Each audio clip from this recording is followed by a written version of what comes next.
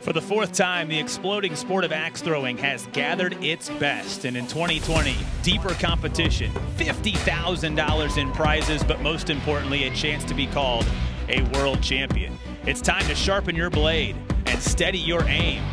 As the competition has descended on the South, y'all, so you know we're going to have ourselves a good axe time in the ATL. We throw axes for a world title next. Axe Atlanta. Welcome to the 2020 Signarama World Axe Throwing Championship. It is going to be a great day of competition. We are glad that you have taken some time out to join us for it. Hi, everybody. With Evan Walters, I'm Will Haskett. Thank you so much for being a part of it. Happy holidays to wherever you may be. We hope that you are healthy and safe. But most importantly, our gift to you, a competition in axe throwing this year because, Evan, a lot's been taken away in 2020. This is a community that has really built up to an exciting day here today. It is 2020 has been full of trials and tribulations, but thankfully we're all able to be here in Atlanta doing this World Championship. And most importantly for this World Championship Day, we're going to make it just a little bit harder on the competitors, especially getting into this championship. In fact, a board they have never seen before until today for this competition. As we get into the scoring of it, Evan, we're going to make it a little bit tougher to make sure the cream rises to the top because that center circle has gotten itsy bitsy tiny for this championship. Walk us through it. Oh, yeah, absolutely. The one, two, three, four points are all the exact same, but the bullseye is now an inch and a half uh, in size, just the exact same as the kill shots for six points. Kill shots on available on the 10th and 5th throws up on the top left and right for eight points. So things have gotten just a little bit more difficult. And for the main competition, six players still alive in the double elimination bracket that started with 128 yesterday. A big $25,000 on the line. Again, it is best two out of three, 10 throws per one. As you take a look at the bracket and where we've arrived at this point, four players still alive in the winner's bracket, bracket A, with the two players waiting, the losers of our first couple of matchups today. And what a treat, Evan, right out of the chute. Sam Carter and Mike Kump going to get things started a rematch of last year's 2019 U.S. Open final. Yeah, for those who, so, who took a look last year in 2019 at the U.S. Open, Sam Carter and Mike Kump were in the finals to take that championship, but it ended up being Mike Kump who won. So maybe we'll get a little bit of revenge here, but at the same time, Sam Carter is the current world champion. That's right. So you've got the two reigning big tournament champions. Again, Carter coming all the way back and winning this world title a year ago and trying to become the first to be a two-time world champion in axe throwing, which would obviously be a big feather in the cap in the fourth playing of this championship. Carter has not missed this entire competition in getting to this spot. And you take a look at Mike Kump, one of the more I think, colorful competitors in the entire sport. How do they adapt, I think, is the question now to this new board. They haven't seen this in competition yet. Yeah, they haven't done, they haven't even practiced on these targets yet from what they were telling me earlier. So this is completely new territory for them, but they are really going to have to adapt. Both of them have fairly relaxed styles. So I think that's going to help them out. Again, guys that typically find the bullseye at a 75% clip or so and you see it just about an inch and a half. Six, five.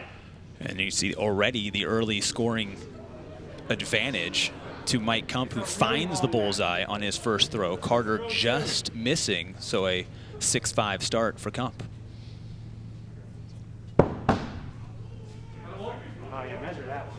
and this is what's so fascinating to me, Evan, in watching this, and you're just as fascinated as me too, is you look at this, all of those shots right there and under normal play are bullseyes. Now all of a sudden, an inch and a half, that margin has shrunk so much for these competitors to try and be that much more precise. And honestly, it's really interesting too because it's not necessarily the World Axe Throwing League that wants to make those changes, but it's the players and their quality and skill level has just increased so dramatically over the years that it's just had to get more and more competitive Five, to this point.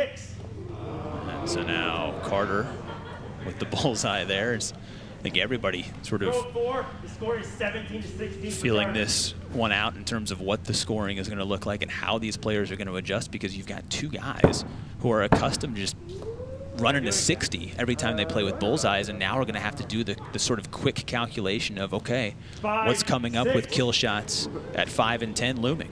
Yeah, it's going to be a lot of back and forth, I'm sure. These guys are pros, but at the same time, they've been only practicing on the on the five ring, which is typically what used to be a bullseye. So the fifth throw. They have the option to go for the kill shot, and I think Mike Nope, neither one decided to go for the kill shot. They're trying to play it safe.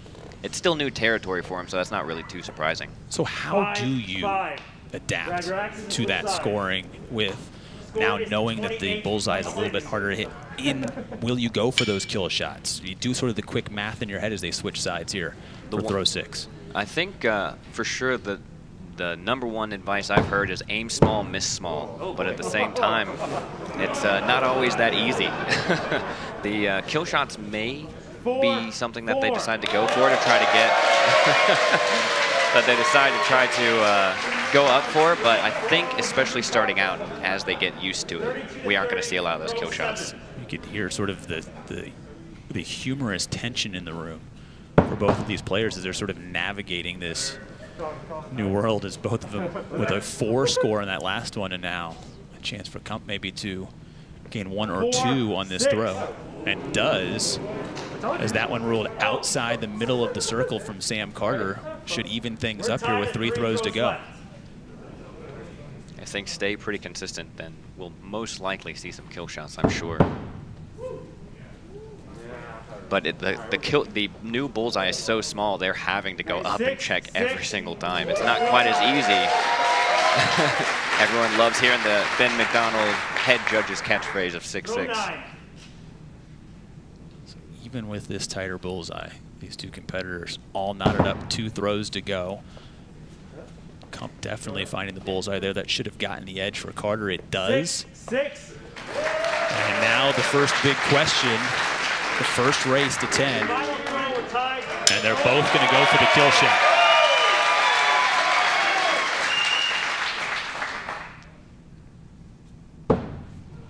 Carter missing, Kump missing. No kill shots hit. All right, so it's a tied game, which means it should go into sudden death. And the way that sudden death is We're done, going to sudden death. Closest to kill shot takes it. as as our head judge said, the closest to the kill shot is going to take it. And that is just one throw. If both make it, they'll have to do another sudden death, but it looks like Yeah, Kump Mike has Kump. made it. Yep. So he gets the valuable first win again. Best two out of three in this match.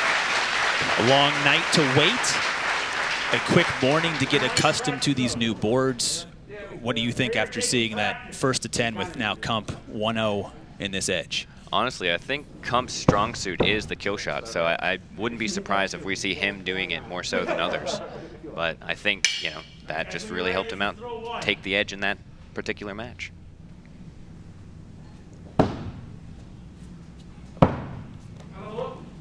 And they had the one practice throw, so that the first official throw of Six. the second Five. match, and that one just missing to the right for Kump. And a one-point edge for Carter as he tries to get back in this one. We mentioned how nearly perfect, or I should say every throw perfect for Sam Carter to this point in defending his world championship. Did have to go to a um, to a sudden death that he lost in the pathway here. It is the first, this is the first match where he has gotten anything other than a six. Correct. But at the same time, he's gotten pretty much all fives with the exception of the one throw. And that five used to be the six. So it's kind of in his experience level so far. But I, A little low there. yeah, I think just that slight over rotation. Four. Five. If he had hit that, if he had hit that axe eight. flat on the board, then it probably wouldn't have gone under that bullseye or that five area. Kump is up by one. Kump with a one-point edge. Sam Carter getting right back, though. Flushing that bullseye shot. That one should get a five for Kump, and we'll be tied up through four five. throws. This is throw five, and we are tied. Kill shots are Many live. in this room thinking that We are both. because they're both going to go for kill shots here on throw number five, but this may not be the only time they play each other today. Again, both in this bracket A. Is that one just high for Carter? Is that one just left from Kump? At this point, I think they're just enjoying being here. They aren't too too worried about their their statistics. Zero eight. Whoa. Wow, that one ruled just catching the edge for Kump and the top of Sam Carter's axe, missing that final circle. Carter wants to go and has the ability to go over there and judge for it himself. Uh, I, I like a second to look at it. All right, he's going to get a second opinion from the head judge. And again, any part of that axe touching the portion of the circle. Yeah, it has to be breaking the paint. Oh, the final call from head judge Ben McDonald is zero. The for those who don't know, this is how that is, and this is how he scores. Is the there must be paint on both sides of the axe. If it is visible paint that you can see on both sides of that axe, then it would be good. But probably due to maybe the lighting, the the original judge thought it was good, but upon second call from the head judge himself, it was called uh, a drop or a zero. So that breathes fresh life into Carter, though, but then could not take advantage with that sixth throw. And honestly, this is the time to make those second judgment calls too, because each of these throws is going to be just a five. matter of millimeters. So it's never a bad idea just to double check. Well, now if you're Still Carter already down one in this match, Three throws left. you can make up ground certainly in these next couple of throws, but you know you're getting closer to needing a kill shot to extend this match. He's low on that bullseye, but Kump low as well. Oh yeah. This is probably going to be a one-shot gainer for Sam Carter to get within Four, one, five. and it is.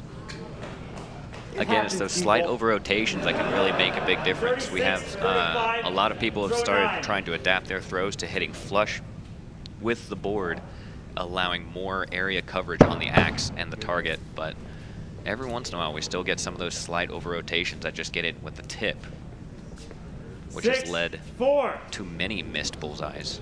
Now a three-point deficit going to the Final, final throw for Carter. line, You know where he's three. going. Are you calling kill shots? Call five and ten. We're going up. We're both going up. Surprised here that Kump's going to go for it with a three-point lead.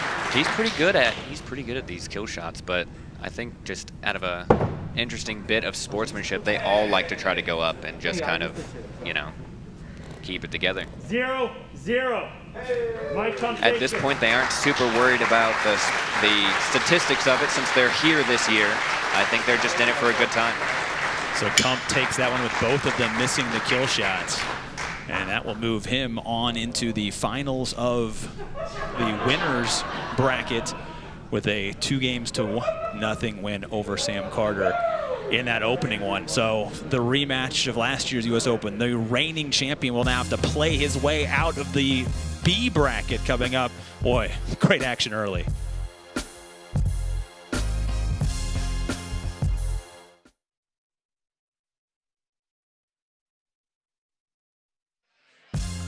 The 2020 Signarama World Axe Throwing Championship is brought to you by Specialty Throwing Axes from the WATL. Buy yours today at worldaxethrowingleague.com. And by Bad Axe Throwing. Book your event today at badaxethrowing.com.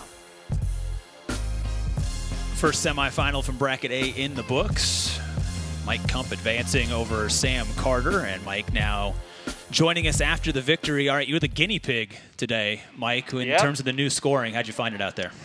Uh, turns out, not that good at axe throwing. So, Well, good enough, I guess. yeah, debatable, but, uh, you know, I had all this confidence going in, and then it was like, oh, four, five, four, five. And, uh, yeah, things don't feel good. How do you adjust though to it? Uh, so I really set low expectations for myself, and uh, worked out great today so far. Any other jokes for the fans out there, Mike? Two guys walk in a bar. Uh, no, no, no. Hey, congratulations. See you next round. All right, thanks, guys. All right, well, we wondered how it would go, Evan, and there you sort of see it. You just kind of roll with it and flow with it. Although, it might be one of the best characters in the entire sport. Oh, yeah, that gets off with absolutely. the uh, the win to start things off. so that leads us into the second semifinal. Again, these guys have advanced through the winners bracket, so not with the loss. Again, with Sam Carter, the reigning world champion, with that loss, he will fall down into bracket B and a matchup coming up with Jonathan Morgan a little bit later. And now it's Ryan Smit and Nick Rich's turn to throw here in the middle. Six, and five. We'll see how they get off to the start here as Nick Rich on the board with the bullseye first. Throw two. Nick is up by one. This is both of these competitors' first time being live on air, but this is actually the second world championship that Ryan Smit has competed in. And honestly, his level of competition has just Six, six. skyrocketed. over this year. And the sport shut down for much of the summer, but the last really gathering of the community was the 2020 Arnold Classic, and Smit, the runner-up in that one earlier this year, was kind of building momentum into 2020, and it's carried forward here to this World Championship. Yeah, we're really lucky that we were able to develop some technology and things like that, so we were able to do competitions online and people doing it in home, so practicing six. safe social distancing while still be able to compete in their favorite sport. Ryan Smit, uh, for example, is one who competed in everything Throw online he could. tied. All tied up, three throws in.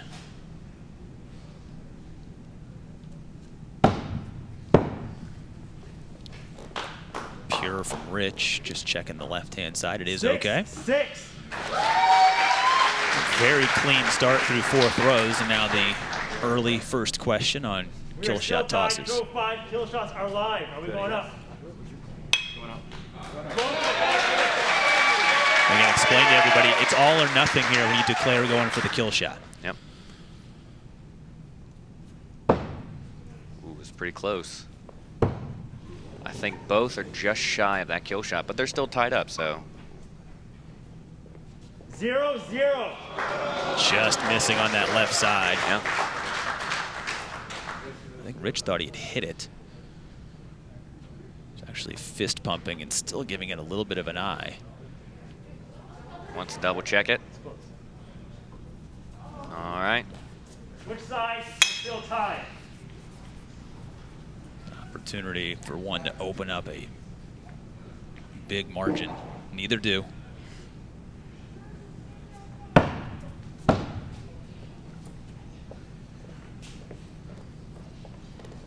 Six, six. Neither one of these guys have failed to adjust to the smaller target. This has been a very clean start to this match outside of those kill shots. Yeah, honestly, it may uh, may be a little daunting for some of the other competitors to see how well they're- have adjusted. But one thing I know for a fact, and speaking with uh, Ryan Smit, is uh, that is his favorite aspect of this sport. Is he loves figuring out the techniques and the technology behind how the sport is played. So he, you can even see on his axe there, he has specifically Six, crafted it to be square in shape because he feels that helps him in his throw. 36-year-old Throw eight. and we from Virginia. Beach, serving in the U.S. Navy. And you can see the precision, his approach, very mechanical with it. That was a nearly perfect throw, finds the bullseye, and will have a one-point edge with just a couple of throws to go here in this first best of three Ryan takes the lead by one. Throw nine. Mike Kump awaiting the winner in the, what would be the finale of the winner's bracket.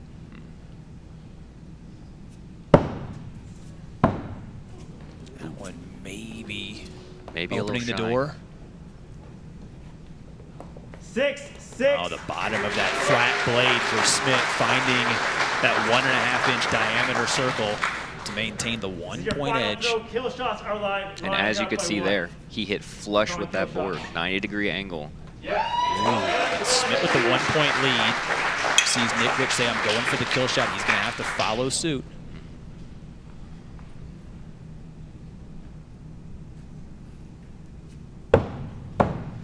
Miss from Rich, which will immediately not matter on the other side for Ryan Smit. So Smit takes a 1-0 lead in this best two out of three. Oh, wow, the kill shot for Ryan Smit, though, shot him to the front.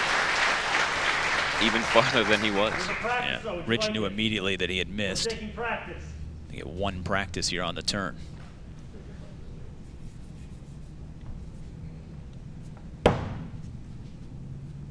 It's always fascinating to watch Ryan Smit's technique as he is very diligent and very almost mechanical or robotic. But it's something he's practiced. I think he said he throws, one. he's throw, uh, tries to throw about like 10,000 throws or something like that is kind of what he expects this year. Just a little shy there. Yeah. Already starting to Five, recalculate six. in his brain what changed there. Rich gets off to the one point edge. Yep. Make us up by one as we go to throw two. Nick Rich from hurling hatchets in Texas, has said that he's thrown easily over 100 matches, but this is his best accomplishment so far is making it here to ESPN this year. Six, four. A two-point swinger on that one to put Smit on top through two. Three, and Ryan is up by one. And for those who are just getting into the sport, and we mentioned off the top how that bullseye shrinking, matching the size of that kill shot circle, which also shrunk down in recent years to try and make these throws a little bit more stressful for the competitors. With the fluctuation that we could see in scoring today, how do you This think that will impact 17 to 16. the need for kill shots late in matches. I mean, obviously it's a it's a math equation you do in your head, but also sort of the long game of knowing that there's going to be more volatility amongst these best competitors. Yeah, honestly, we did see a sudden death earlier today already, but Five, because six. there's going to be a lot more variation in the points, I don't know if we're going to see another one. Keeping in mind, though, that these guys are the best of the best. So it's it's really interesting, especially this is kind of a even though this is new for all of them, it's new for us too. So we're all getting to witness this at the same time.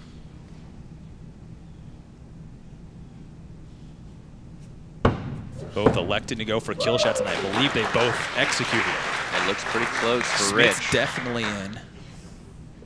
Eight, eight. And they both nailed a kill shot to stay dead even. Rich needing this win to force a winner take all. We are tied at 30.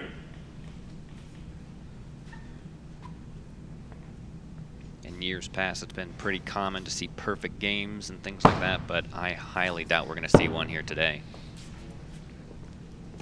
Now the question is, is a one or two point lead for Smit. That one Five, does six. catch enough of the inner circle for Nick Rich to stay just one back after the perfect strike from Smit. Throw seven. Ryan's up by one.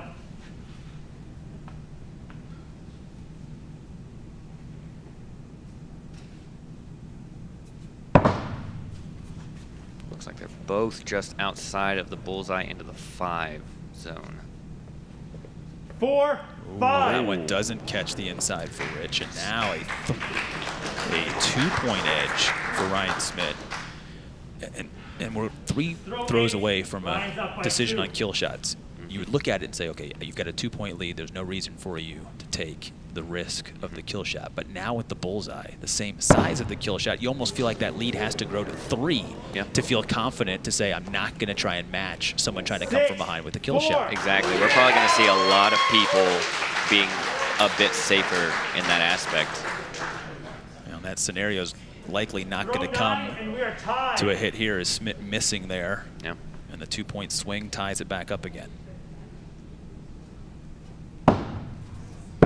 Was two flush throws, although Smit's maybe just a little bit left. Again, he has to be just on the Six, outside as well. Six.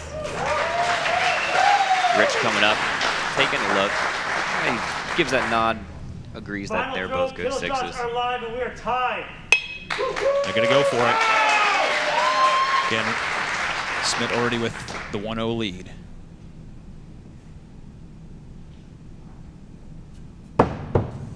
Oh man, I think we both we got both. Nick Rich is flush on there, Eight, but eight. there we go. Just by a whisker on the top of Smit's axe takes us to sudden death in this one. We are tied. The crowd favorite chant to figure out the eternal question. Now again, this has to be the closest to the kill shot. If they both hit, then they have to switch kill shots. But if they don't, it is closest to. And I think they both hit. Both throws are good. All right. We'll keep going. Second sudden death. The most we've seen so far on record is six sudden deaths. So again, going for opposite kill shots. So they're forced to move to the opposite kill shot. People typically tend to favor one over the other, so this kind of changes things up for them a little bit. Smit I think- way off. I think that's going to be And Nick takes it. Nick. Nick Rich draws even is the throw from Ryan Smit low and wide of the mark. Rich closest and we go to a winner take all. Would like to take it? We're taking practice. All right, they're going to take one practice throw. It's allowed between every single match just to kind of get them to recalibrate a little bit. But I think uh, after that practice throw, we're going to get right back into it. You're ready, this is throw You see a little bit of relief on Nick Rich. This game takes it.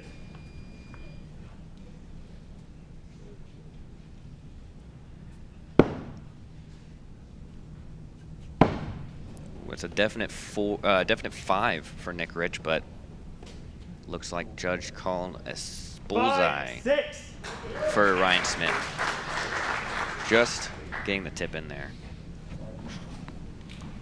Throw two, and Ryan's up by one. Again, you're talking about throws that yesterday in competition throughout the entire year, you're not even blinking an eye. You're walking up there, you're taking Four, off. I got I got the bullseye in that one. Now all of a sudden that bullseye shrinks a little bit, and you're like, wow, it's one less point than I've been accustomed to getting. And, and as you mentioned, this is going to be the scoring moving forward. So this is a preview of what 2021 is going to look like. Not to mention, there is one more change coming that we haven't implemented for this tournament yet because it was a little bit more different than just shrinking. But next year for 2021, Five, five. the kill shots are still going to be two per match, but you're going to be able to call them at any point during the match. Wow. So instead of just restricting them to throws five and six, people can save them up for the last two throws. People can do them early if they want, try to get them out of the way. But it's going to change the head game quite a bit. We've almost seen, and we'll see it here in just a Four, second, is six.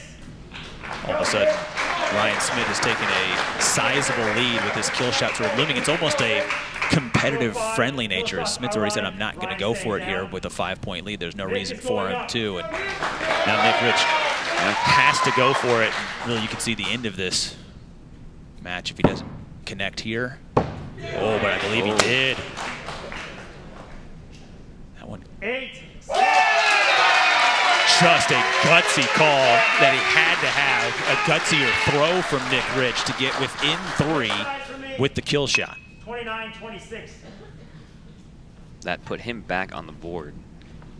But to finish my point about what it means is it's almost like right now it, there's almost peer pressure involved, right? It's oh, like, yeah. oh, he's going, okay, yeah, we'll go. It's the Six, friendly thing to do. But if all of a sudden you just come out of the gates and say, first throw, I'm going for a kill shot to Yeah. try and establish dominance in this match, you know, now you're right. You're playing more of the psychological warfare against your opponent. And honestly, this I've always said that this sport is half a mental game as opposed to just half throwing the axe. Any tiny little bit of just getting out of that headspace and out of out of what you need to do to be able to throw that axe again and again and again. Something like that, throwing a kill shot in the very first throw and hitting it would just Score is 41 to devastate an opponent.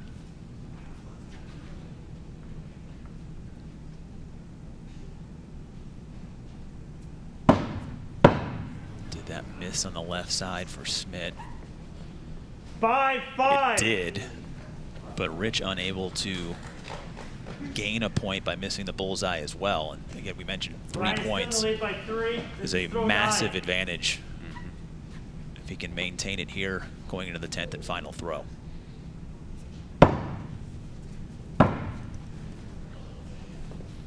Five, six. So there's the one point gainer from Nick Rich to open up the possibility. Final Could he go two kill Ryan's shots? by two points. Kill shots are live. Ryan is staying down. Nick is going up. Ryan decided to stay down. It's honestly a safe call. Would have done the same. Rich hits. If that misses from Smit, it'll be a reversal. It is! The three-point turnaround on the final throw from Nick Rich, who needed the kill shot twice, once to stay alive, and this time to get it done and move on to face Mike Kump. What a turnaround when he needed it most. Absolutely risky shot, but man, he took it. Wow. Not once, but twice. What a turnaround. We'll hear from the winner right after this. Unbelievable action to get it done from Nick Rich.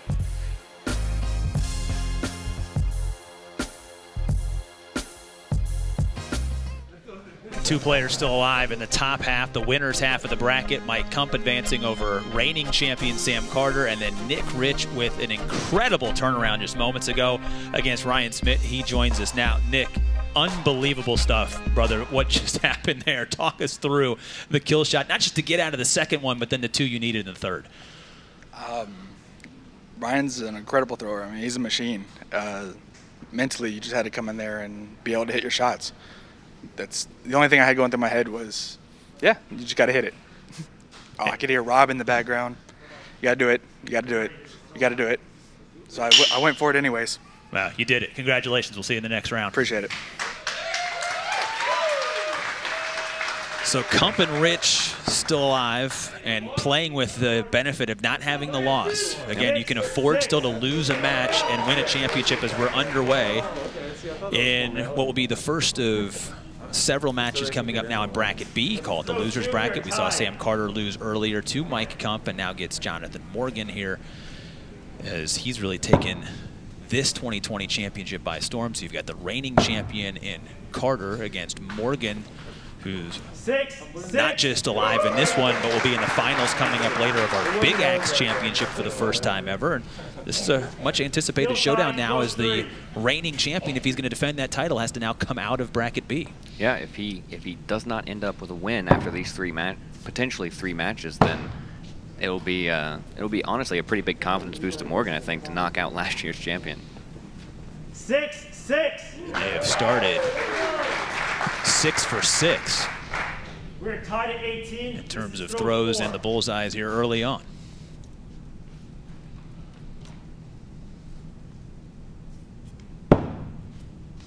Now maybe the first sign of Five, five. Humanity from both as both missed the bullseye to stay tied at 23 apiece. And now the question, will they go up? They will. Shots at the top.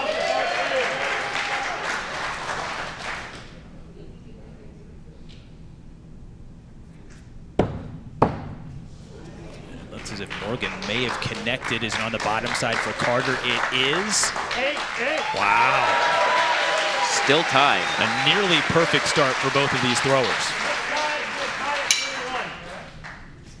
Again, these these competitors here make all of this look so much easier than it actually is. Anyone who's thrown an axe knows that already the old bullseye, where the now five ring is, is difficult enough. Five, six. Morgan now with a one-point edge. I I think we would expect to see this level of precision from Sam Carter, who has been perfect with the old bullseye system, but Six, six. what Jonathan Morgan has done today off of yesterday, turning a lot of heads Still point and still maintains a one-point lead with three throws to go here in this opener.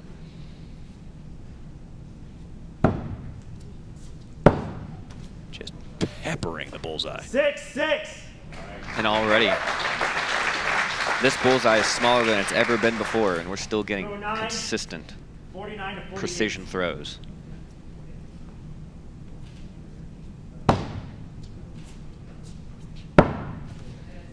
You made the claim, partner, Five, that six. we may not see a perfect game from any competitor.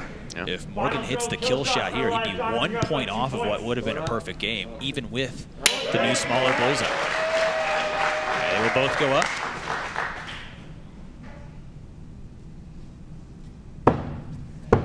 Oh, and Carter hits, Morgan misses, and the turnaround, and that's what the kill shot can provide. Wow. A nearly flawless nine throws from Jonathan Morgan.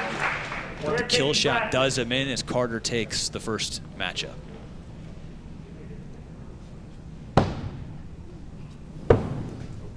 They could both get a practice throw switching. You can see.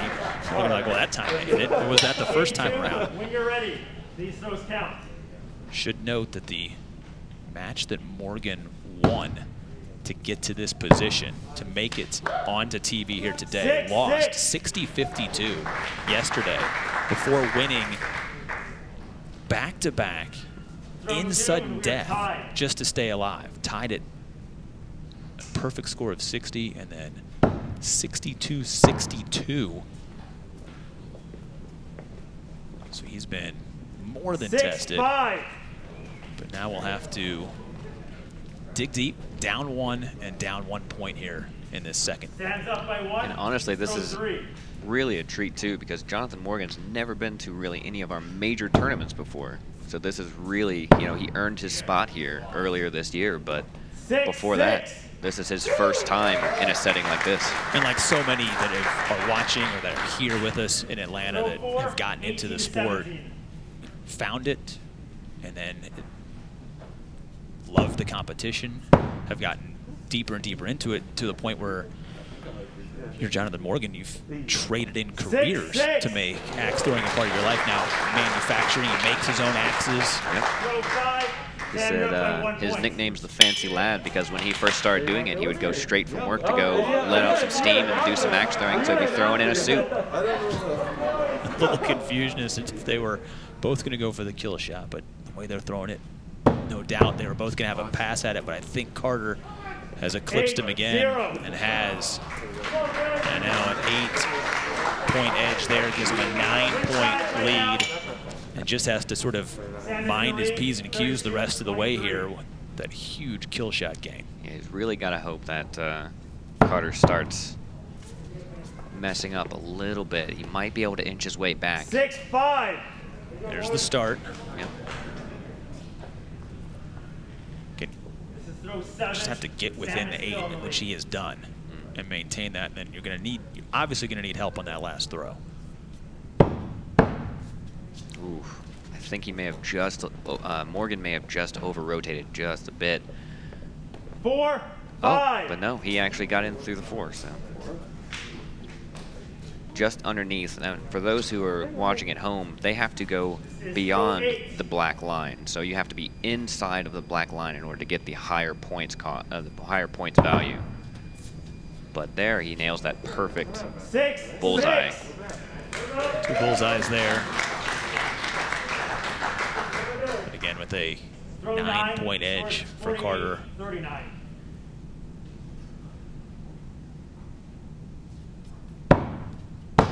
Morgan was going to need some help and also have to be perfect. He will not. Five, six. And this one, all but a formality going into the final throw. It is unfortunately out of reach for Morgan. Yeah. They're both going to go up. Does not matter with a 10-point edge. There's no way. He was. Carter gains a little bit of momentum with this one to stay alive in pursuit, perhaps a rematch back.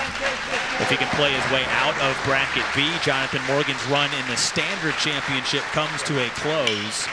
But he'll get ready for the Big Axe final coming up a little bit later, which I know we're really excited to be a part of as we'll get set for the next one coming up here in bracket B.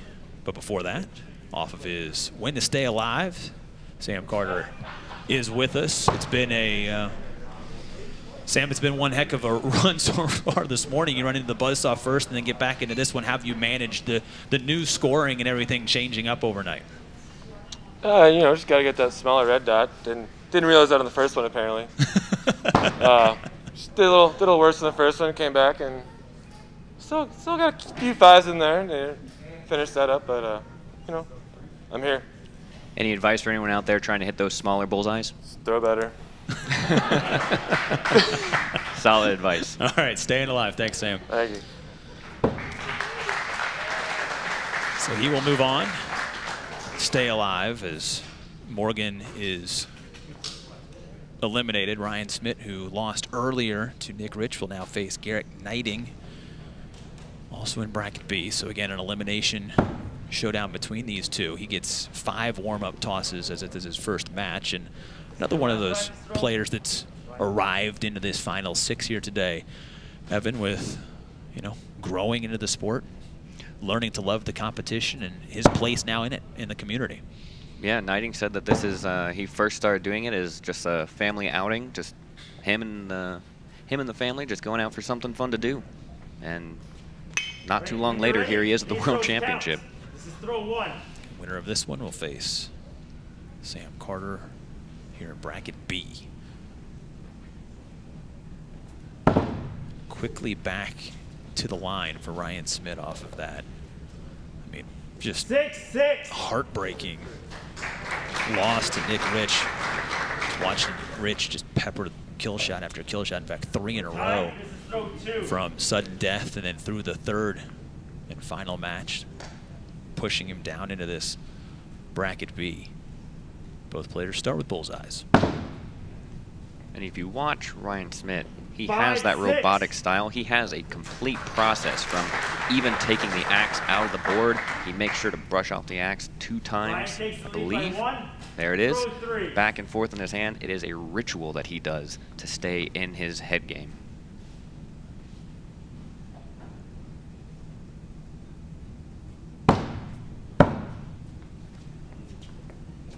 Five, six. Again, players at the t- top of their game, you'll see that same level of consistency with the strike. But to me, watching Ryan. Ryan Smit, it's how flush the blade makes contact with almost every time. It may be a little bit left or maybe a little bit right, but a strike almost always pure, straight up and down. Mm-hmm. A lot of players, you know, again, like I said, this game is almost 50% a head Four, game, and a lot of people tend to feel like they just need to relax, and that'll get them in the in the right headspace. But for Ryan, it's Ryan not quite the opposite, but it's just a different down. direction instead to just up. be ritualistic about how he competes in almost that robotic precision, just straight as an arrow. Four point lead allowing Smit to stay down here. Gneiting has to make something happen with a kill shot, which I believe he has gotten. Eight, six. That's a huge throw from Garrett Gneiting. 24 from Payson, Utah. Switch sides. Actually counting in his day job and Ryan's up by two points. Again. Got the switch. started realizing that he could compete at the highest level. And that was a big time throw stay within it here in this first of best two out of three matches. Six, six.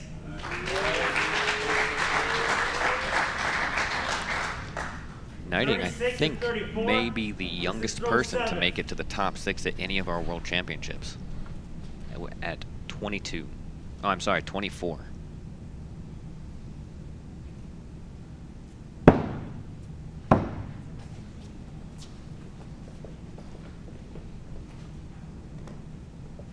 Six, six. Both six. with bullseyes there. Gneiting Three trying to shots left. close that gap a little Two bit. are us. Ryan's just not letting up.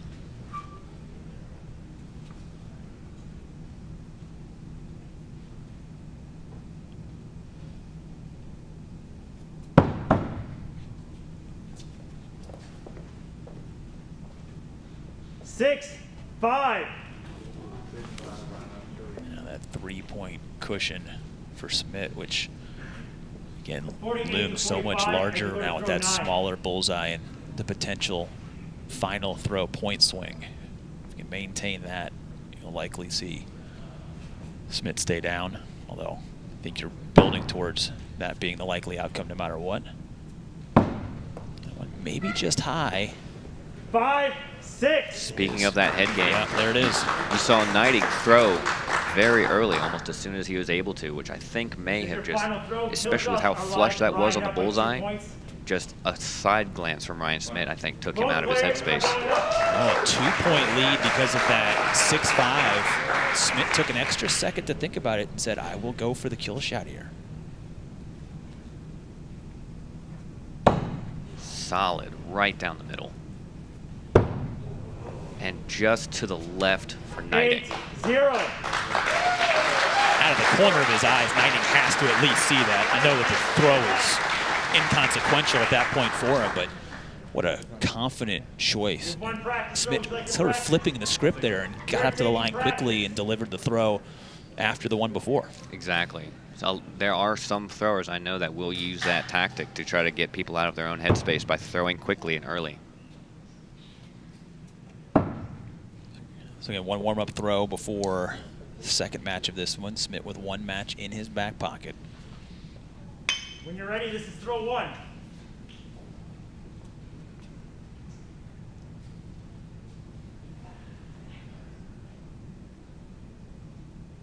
That might be a Five, six. start that Gneiting wanted to see, just to get a sense of an early lead after having to play from behind Bears up by one. and unable to come all the way back in that first matchup. With the difference between the five-point ring and the and the six-point kill shot, it really is at this top level of competition just a matter of a single point on and off. Five, six. Maybe a little bit of a recalibration here now for Ryan Smit. as He's missed the mark on his first two throws. 12 to 10. This is throw three. Gneiting two good bullseyes to start and a two-point cushion. He's got to be feeling confident about that.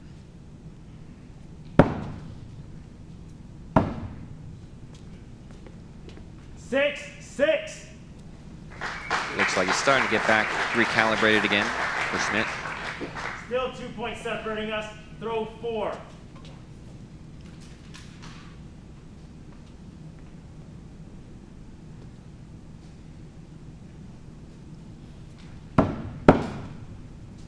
Gneiting has definitely Six, found six. his footing here as he is four straight bullseyes out of the gate, is maintains five. a two-point alive. Garrett's up lead here. points.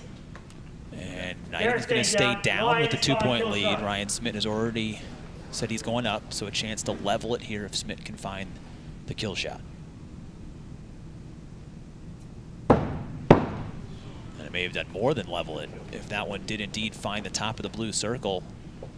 Eight, five. An 8-5 score, so the kill shot from Smit coupled with the first miss of this second match from Gneiting puts Smit on top by one by one. halfway through. This is throw six. Have to hope that that didn't phase Gneiting too much.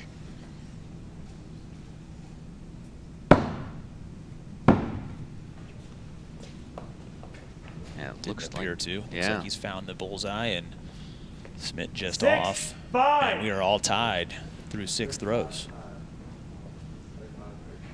We are tied right now as you go to throw seven. 35 apiece between these two again. Ryan Smit already with one win in this best two out of three. Loser is out of the competition. Winner will advance to face 2019 Six, world champion five. Sam Carter with Mike Kump and Nick Rich still to do battle on the winner's half of the bracket. But we will have just four players remaining at the completion 40 of this one. Three throws left. Garrett is in the lead by one. change there. Gneiting got a one-point edge, three hole, uh, three throws to go. That one may have missed high from Gneiting, definitely low from Smit. Five, five. You an opportunity there for Smit to get back tied, but could not take advantage with two tosses now left. There's still one point separating us. Throw nine. It's going to be really interesting to see if they can continue this one point differential, which might just happen. Unless Gneiting missed I believe he missed. bull. Five, six. All right, so we're all tied up. All tied up, and Ryan Smit immediately puts his finger in the air that he's going to go up. We are tied in our final throw. Kill shots are live, and both players have called kill shots. All right. Again, Smit already has the advantage. This is a throw for the match. If Smit could convert and Gneiting could not. Looks like a solid kill. And That one just misses high and to the right. Zero, eight. And the run for Garrett Gneiting comes to an end as Ryan Smit stays alive. Couple of clutch kill shots in that second one. And advances to face Sam Carter here in bracket B. Some solid throws, puts away the loss from earlier very quickly. Ryan Smit stays alive as four remain in pursuit of a championship.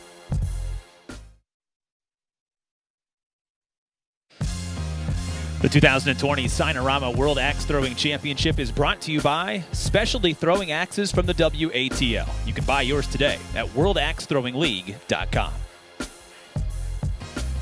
Four still alive in pursuit of a World Axe Throwing Championship. Ryan Smit, one of those four, just survived a bracket B showdown. Ryan, congratulations for staying alive in this one. I want to know how much does your process you. help you put behind what happened, sort of the, the emotional way of losing earlier to get back into the process in that one?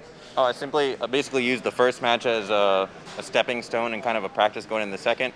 This is my first time in competition with the new Bullseyes, and Garrett is a very, very focused, very meticulous thrower. I knew it would come down to not hitting those fives, and I'd have to take chances that's why I was taking the chances on the kills. I knew I had to do that in order to actually come out on top. So yeah. that's Looks, what happened. Looked calm in doing so. We'll see you in the next match coming up. Thanks Thank so much. You. He will face Sam Carter coming up in the bracket B showdown. But we go back to the top and two players going at it. It's Mike Kump and Nick Rich, both with wins already today. The winner of this one, Evan, is going to be in the championship coming up a little bit later. Kump with that win over Sam Carter earlier today. Again, there's a look at his bio, and again, one of the, most colorful characters in the entire sport. We've seen him on display through the course of the year. Starts off with a bullseye here against Nick Rich to get things started in this best two or three. Four, six. Oh, and Rich couldn't get inside the other circle. So that is a two-point edge for Kump to begin things. We mentioned how that showdown with Carter kind of felt like a championship duel. We may end up still seeing it again if Carter can play his way back through the bracket, but just had to be a huge, huge boost for Mike Kump trying to win a world championship six, six. for the first time as he's facing Nick Rich, who showed us a lot of heart and a lot of guts in coming from behind against Ryan Smit. And then you see, like so many people, wife finding it on Facebook. It was actually a wedding anniversary activity that she took him to, and now here he is on TV competing for a championship and learned a lot about what he's capable of doing in that match earlier against Ryan Smit. Yeah, I, uh, I don't believe that she had envisioned that he would be here today after just going for a nice little anniversary outing with a two-point lead. Compass said he's going to stay down. Both players are staying and down. now Nick no Rich says he's going to stay down as well. And with that new five and six area, that's the kind of safe plays you're probably going to see a bit. Five, six. A lot of people like to go up on the kill shot opportunity just to do it as a sportsman type thing, you know, which is perfectly admirable in some ways, but, you know, when it comes down to a, a $25,000 prize and the title of world champion, you know, you got to take some practical steps. Play your way back. Back-to-back bullseyes, though, on throw number six. And so if you're Rich, you don't take the gamble there on the fifth throw of going for the kill shot. But you're still going to either need to probably hit it or you're going to need some help right now from your opponent by not trying to go for the eight points. Exactly. He's almost betting more on Mike missing than he is on his own ability to hit. Six, five he's not cashing in on that bet to this point. Now a four-point hole. Again, we alluded to, for these best throwers, even with the smaller bullseye, the likelihood of them still hitting that secondary ring for five points is so great. So the biggest gap you're really going to see from the top of these competitors on a kill shot throw would be maybe an 8-5 swing. you're going to have to stay within three if you're a player like Nick Rich, and now this one's getting out of hand from him down six.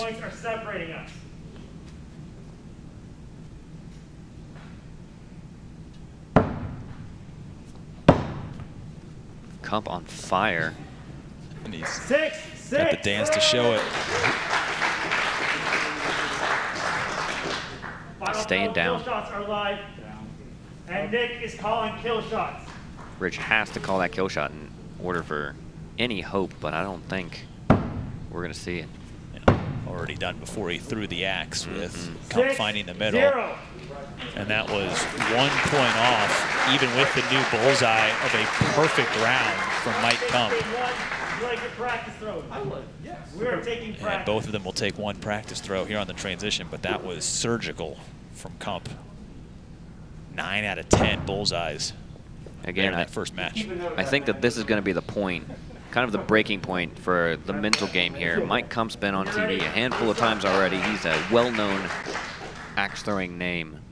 And Nick Rich is a little bit new to the scene. So I think that those the little, the edge of that and the the weight of this particular match is starting to get up to him while Five, Mike Kump five. is kind of in his element.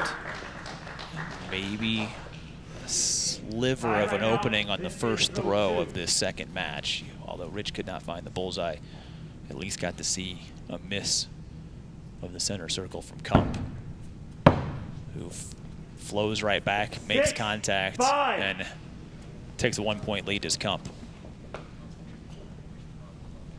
Comp is up by one point. Throw three.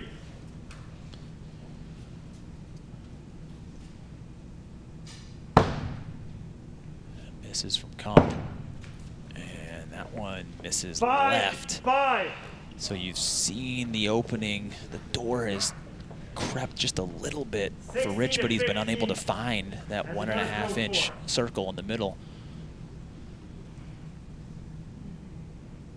Again, this is just a game of millimeters, as you can plainly see with Nick Rich's throw. Six. Five. Let's Go.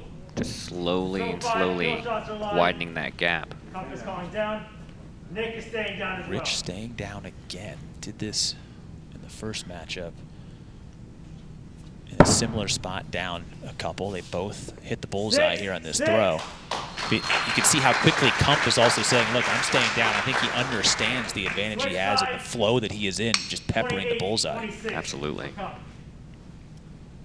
This is Rich playing it safe this time. The kill shot would have taken him up over, which would be nice, but it's just not worth the risk of getting a zero. Five. Five. And Rich is washed. Mike Kump miss the bullseye four times in six throws in this match. Throw and seven. yet has been unable to up by two. take advantage. Again, one that's left of the mark. Four. Five. And that one doesn't find the inner circle for Rich, so even with another Kump miss of the bullseye, Rich surrenders Three throws one left. point to his opponent. Up by three points. Three point lead, still not out for Rich yet, but it's it's inching away. Six. Five. Let's hear the crowd kind of trying to implore Nick Rich. That There's As you go to throw just a tiny victory in a match to try and up by two. make it possible. You cut the tension in this room right now. All right, two bullseyes it appears. Six. Six. So a chance if, and you know Nick Rich is going to go up for a kill shot here. Final throw. Kill shots are live. Oh, going and Mike Kump says, I'll go up with you. It's all down to this. Pretty close, Both but of them close.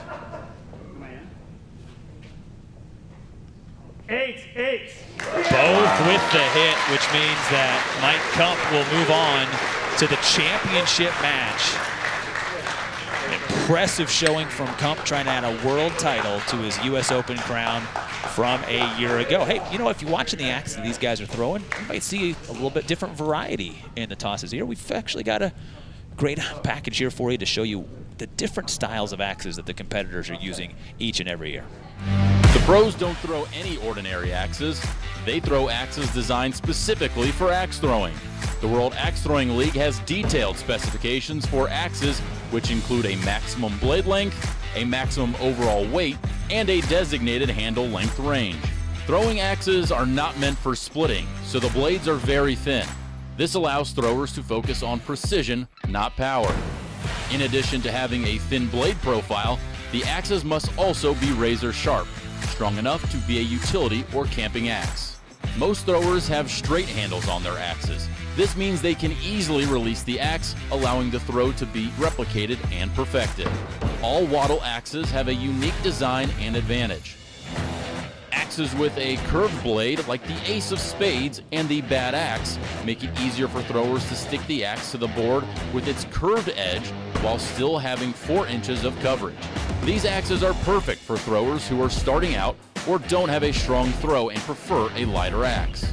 Axes like the Corporal are heavy hitters. It has a unique fishhook design and added weight on the back of the axe head. That weight provides extra power to ensure the Corporal does not drop when it hits the board. The Butcher is WATL's most popular and unique axe. It has a full 4 inches of coverage from blade to handle. Its square box-like design also makes the axe easy to land even on tough boards. After nearly a year and a half of designing and enhancing prototypes, the Butcher just recently became available on the market. As you can see, the axes used by the pros are unique to the sport. For more information, you can visit worldaxethrowingleague.com. So he's craftsman with his own weapon to try and win a championship, including last year's world champion Sam Carter trying to play his way back into the championship match after losing to Mike Kump, who we know will be in the championship later. Will it be a rematch? Six, six. Or will Ryan Smit end the champion's charge as they both start with a bullseye here in this matchup? They will face Nick Rich here in bracket B for the win out of this bracket into the championship. Third match of the day for five. both of these competitors. As there's, you see Ryan Smit, who looked so cool, calm and collected as he always does against Garrett Griding, or Gneiting, I should say, just a few minutes ago. You see his favorite thing we've talked about a couple times, the puzzle of finding the perfect throw. After every throw, sort of recalibrating and figuring out what it's going to take. five. And a couple of misses now from Sam Carter have opened the door for an early Smit lead. 18 to 16 as we go to throw four. Trying to find the perfect throw reminds me of an old saying that you'll never find a perfect flower. And I wonder one day if Smit may just find Six, that five. singular perfect throw. You keep making Ryan is in the the lead by bullseye smaller. I don't really know how you could ever identify what a perfect throw is. Measure the length of the blade. players Is are called kill shots. both players will go up. Carter down three. Interesting call here by Smit to go up with him. Yeah, and he could have taken that bullseye and attempted to keep it there, but looks like Eight, eight. they both got that kill. So Maintains that you immediately saw the respect paid by Sam Carter to say he understood not only how good the throw was, but how gutsy the call was. Ryan in the lead, 32 To go up there with 29. them and endanger an, an eight-point swing. yeah, Ryan didn't need to make that kill shot, but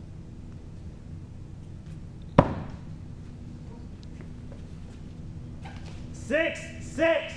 wow, pretty close. Had to double check. There's still three points separating us. Throw seven. Three points is all the difference between these two powerhouses. Well, and if this gap, as Smit does find the bullseye, Six, six. if this gap maintains at three points for Ryan Smit, I can't imagine in any scenario where he's going to go up with them again for the kill shot of the 10th throw, but we've seen crazier things happen in this championship. That's correct.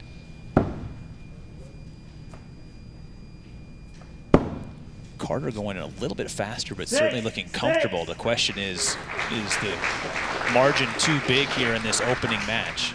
50 to 47. He's trying, but nine. Smit is just not letting up at all. Ooh, he may have just gotten a slight over rotation and gotten a five instead of a six. but- Six, six. No, just got the barely got that axe in. That's the one thing I think Carter's going to have to look out for. That over rotation. Kill shots are live. Ryan, you're up by three points. Both players He's going up, shots. up three. Why? How about the perfect score? Yeah. Ooh, Carter may have just missed. Smit did not. solid. A 64 with the new bullseyes. Wow. Wow. What a start. What a statement from Ryan Smit in the first matchup against the reigning champion Sam Carter. And even Smith takes a little bit of a bow. A Wow. perfect game. A perfect game with the new bullseyes. Yeah. you. Yeah. taking you. Yeah. you. Practice. You said there wouldn't be one today. Yeah, I didn't think there would be. But I think Smit just showed us all a little bit of the talent he's capable of. And as they get one practice throw in between. These throws count when you're ready. Good boy. Should be noted that Smit did miss on that practice throw. He hasn't missed Yeah. in this match. Looks like Sam got it in again, but at the same Six, time, is that still he over rotates just a little bit, which means that he doesn't get quite as much surface area as Ryan Smit does. Throw two.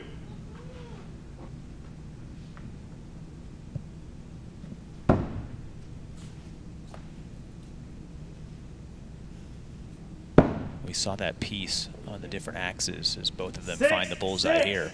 Heads look somewhat similar to these two, but you see the size of the handle for Ryan tied Smit. now. This is Compare and contrast three. with these two guys throw and, and what it means to their technique and how it hits the board. Yeah, Ryan Smit uh, lovingly calls his axe the chair leg because of how thick and square it is, but he finds Six, six. He was explaining to me earlier that he feels that the joints in his finger lock over the square Still handle tied. better. This is throw four.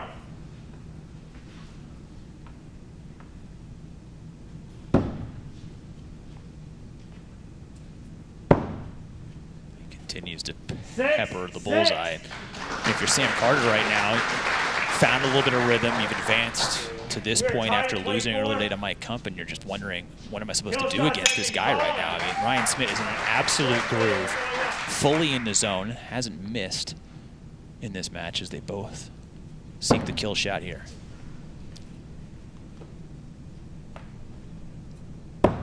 Solid kill shot for Smit, but it's going to be hard to tell for Carter. Zero, eight. Oh, devastating.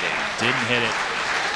And now the reign of the 2019 World Champion is in jeopardy. Ryan takes the lead by eight. You already have a perfect score. I mean, the only thing that's going to allow, the only thing that's going to get in Six, Ryan Smit's way of winning this is himself if he chooses to go for the glory Yeah. on a kill shot later. A commanding lead. 38 to 30. It's going to be interesting to see. Seven. If they stay consistent, keep hitting those sixes. Ooh. And sign of a miss. Five, six. immediately upon that miss, Ryan Smit goes to the his back pocket, gets a little rosin out, maybe felt a little something on the release, but that is the first time he has missed his intended target in this entire showdown with Sam Carter. Ooh. Sam as well. I think they may be either getting a little too comfortable or nerves are getting to him a little too much. Six, four. You know, the gap is too big now for Ryan to really have to sweat anything out here. I mean, short of a drop of the axe, you know, this one's all said and done, and for the fourth straight year, we will have a new world champion.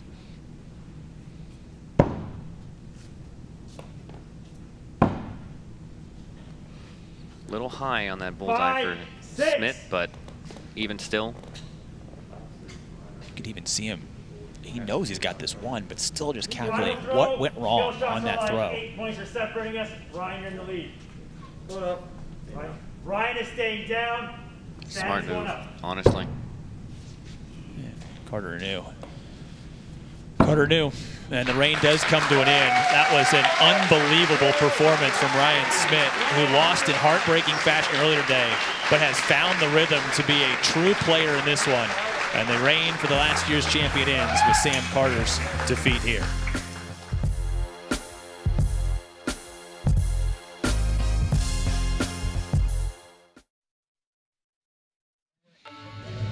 Well, new scoring in the championship this year, the World Axe Throwing Championships. We've seen here in this final day, Evan Walters, exactly how this has impacted the competition in the cages and how tight that bullseye has become and what it has done to this competition.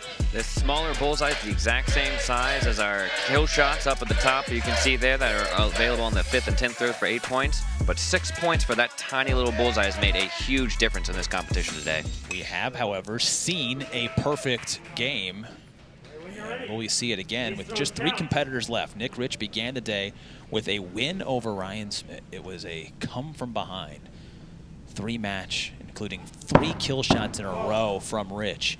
But now faces Smit again for a spot in the championship on the line where Mike Kump is waiting for the winner of this one.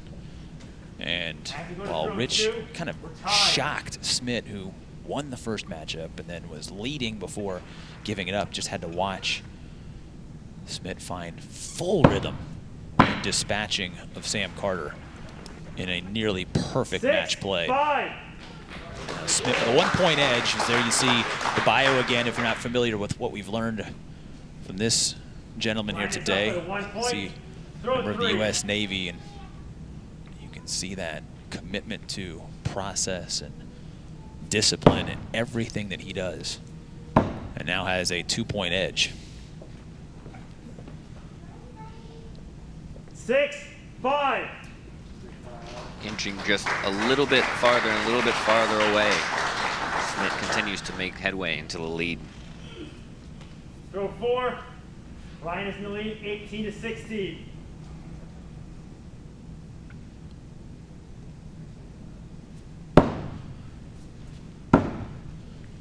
Both of those flush to the mark. And Six. there's Six. so many great stats that are tracked through the course of the year.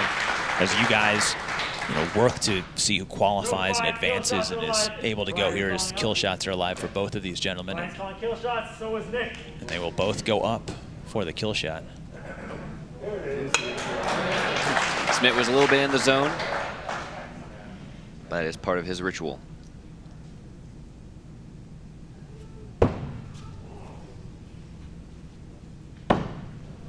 A commanding lead now for Smit. Eight. Zero. Now it's like a 10-point lead in the second half of this opening match in the sixth throw.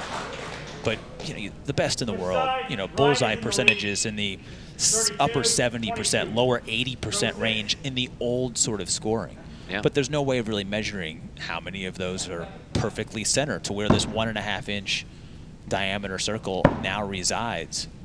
Uh, How will that sort of shift six. how people approach this? Because you had more margin for error to Yeah. get to that center circle. I think uh, with our leaderboards online, we're going to have a old rules set for percentages and a new rules set for percentages. So everything's going to be pretty much a clean slate going into 2021.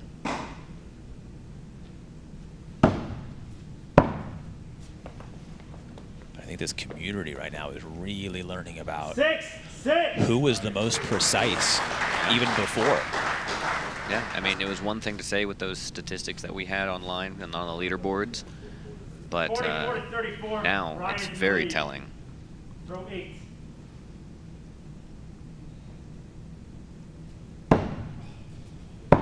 Rich another miss. This one's out of range here in this opening Four. match. Six. He's really got to hope that Smit somehow. Well, you, you had to have a drop. You had to have two Yeah. drops. Throw nine. And Ryan is still in the And lead. again, Smit who already has one perfect score, the only perfect score of the day with these new tighter bullseye. On pace for another one.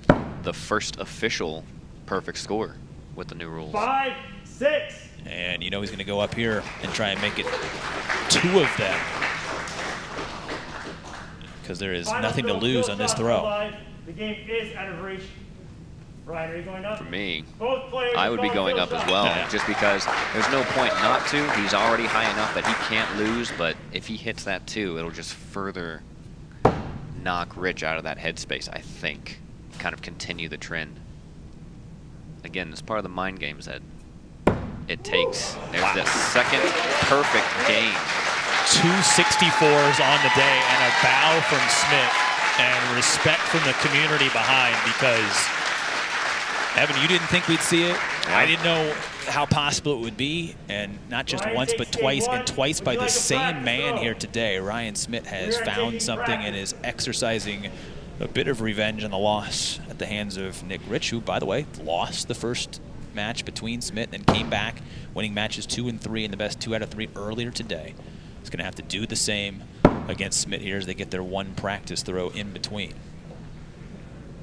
This is setting up the championship showdown for the fourth ready, ever these throws are World. Axe Throwing Champion. Mike Kump is already awaiting the winner of this one coming up. There will be a pause after this match, however.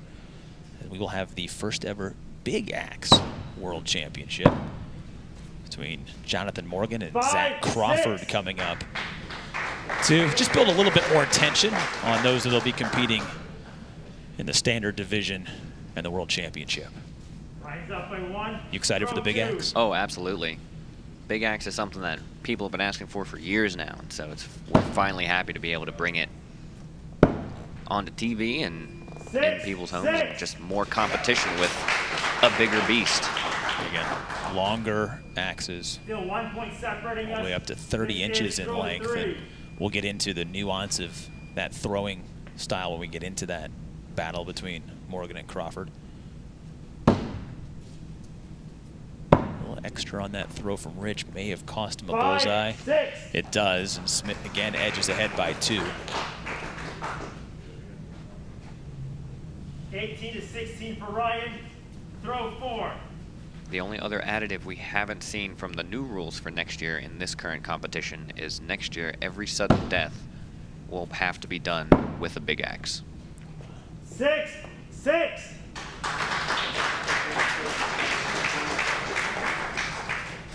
This is shot five. Ryan, you're up by two points. Are you calling kill shots? Both players have called And kill Smit's in shots. an unbelievable zone here, even with a two-point lead. No surprise he's going to go up for the kill shots because he has not missed.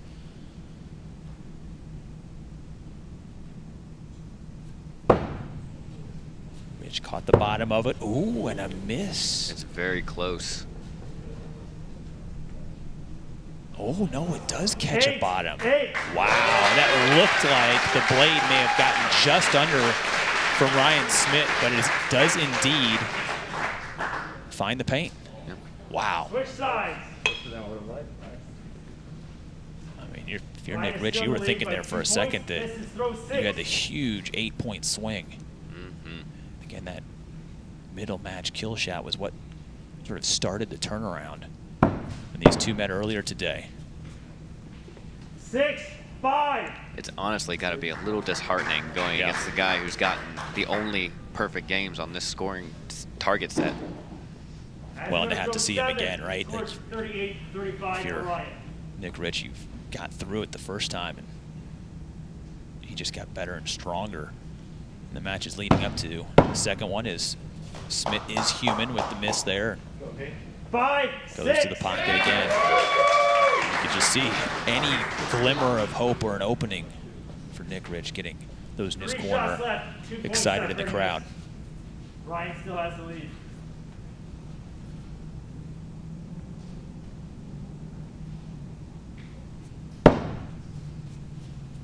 A little hard on that throw.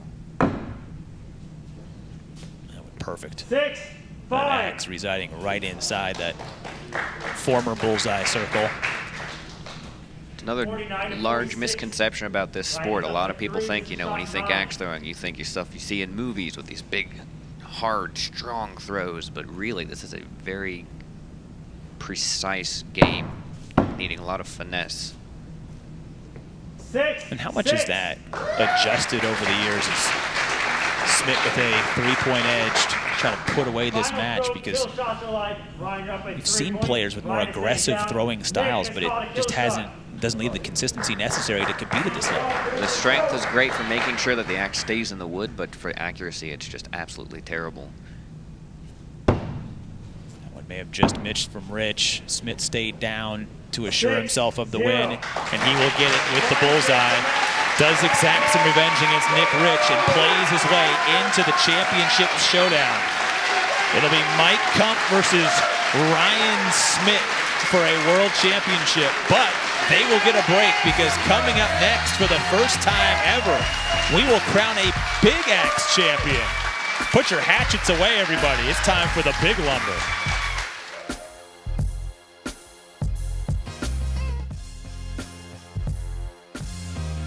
The 2020 Signarama World Axe Throwing Championship is brought to you by Specialty Throwing Axes from the WATL. You can buy yours today at worldaxethrowingleague.com. We will have a world axe throwing champion in a moment, but first, we're going to have a big axe throwing champion coming up for the first time ever. 64 competitors came together yesterday, still best two out of three, and we are underway in this big axe showdown with just five throws Four, in each five. round for the competitors and two good friends to do in battle in this one. Jonathan Morgan, who we saw earlier today, lost in bracket B against Zach Zeus Crawford as he's taking a look at his axe. And Evan, walk us through. You saw a couple of things there. Why this is different. You'll see him starting from a little bit farther back and how we've arrived at a new competition in the sport. Bigger axe means bigger distance. You're not quite able to be quite as close up to those targets as you would with the regular hatches that we throw, but that's why we have them standing just a little bit farther back than usual. But uh, otherwise, the scoring is relatively the same, with the very big exception five. that each match is just five throws. Quick one with the fifth one being an opportunity to go for the kill shot. There you see Zach Crawford. He's got to win two matches. He's coming out of bracket B, the loser's bracket, against Jonathan Morgan, who went 6 0 en route to this championship appearance. And now a good start Five, from Crawford. Four. Has gotten up a point. As you take a look at Morgan, who we saw earlier today, lo- losing to takes the lead Sam Carter but has been really good at this discipline. In fact, using an axe that he customs himself for this big axe competition. He's made axe throwing his life, and that one catches Six. Five. the bullseye for Crawford, and now he's got a two-point lead going to the kill shot call. Final throw. Kill shots are alive. Zach, you're up by two. You're staying down. Jonathan. Jonathan, Zach staying down. Jonathan Morgan going up for the kill. It's the fifth and final throw of this match. Five-pointer for Crawford. So a chance to win here with a kill shot, but Morgan way off the mark and knew it upon release. So Crawford takes the first match, again has to win the best two out of three and then do it again if he's to be crowned the Big Axe champion here in 2020. We are taking one practice throw. So a lot of these competitors are doing both, and as you mentioned, you're going to start seeing tiebreakers across all divisions settled with the Big Axe moving forward. How do you have to change your approach to it? It is quite a bit more difficult with the big axe because of the distance away. You are farther away from when you're throwing those axes. You have to be just because of how slow the rotation is with the bigger axes. That being said, you're still aiming for those tiny little targets, those small bullseyes that they just both hit. The difficulty has increased. We're now tied. Again, a perfect score would be 32 in this competition. And you know, we saw lots of perfect scores in the standard axe competition yesterday. Very few players are able to just Five. whip Six. 30s and 32s out in big axe. You will see a bit more variance in the scoring as Morgan takes a look and confirms that did not find the mark. Out of Row over three. 60 competitors for the Big Axe tournament, these two local club throwers together ended up in the finals bracket. Six. It's just a powerhouse of axe throwing competition coming out of Timber Beast. And the young man they call Zeus has brought it here in this championship. up by two. You have to imagine how two levels of comfort. One, you know, Morgan had to ramp up play in the standard axe division earlier today before getting ready for this. Crawford's had his eyes and mind focused on this one the whole time as they both score just four on that throw.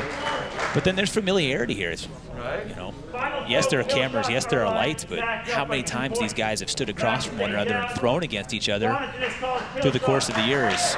Morgan calls kill shot, Crawford trying to force a winner-take-all match.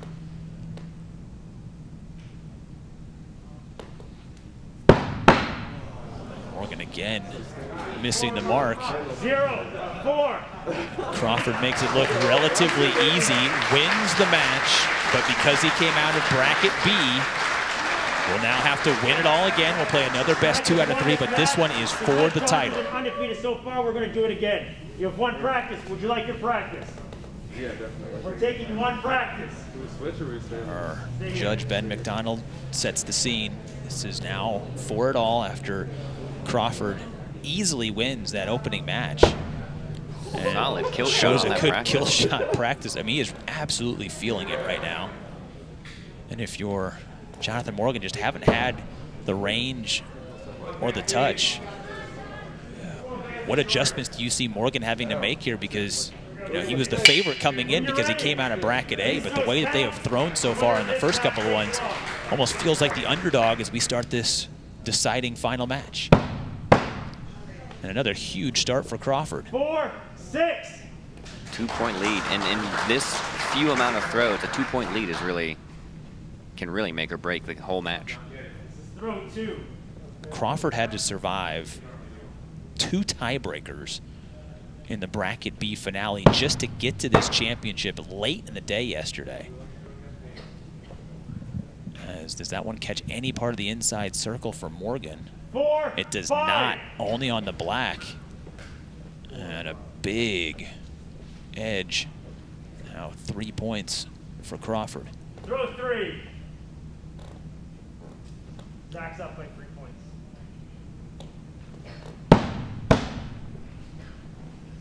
Should also mention these two friends met in the round of 12 Four, yesterday. Six. Morgan winning 28-16 and then in a tiebreaker 28-28 a very solid This is throw four. second showdown but Crawford has been spectacular. Big miss from Crawford but Morgan can't make him pay. Crawford found no joy in that throw, but honestly, not uh, not too bad for him. Still ahead. Five points are separating us. And Jonathan has called a kill shot.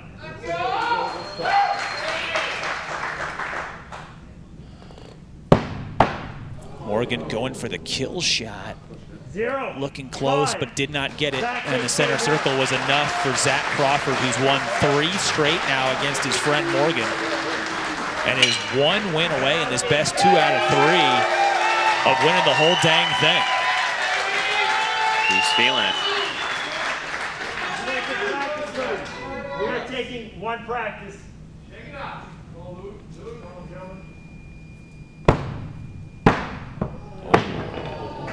That's what practice is for. You got to get that Just out the of the way. practice throw, but I think Morgan saying if I could get one drop in these next five throws, that might make my life a little bit easier. ready.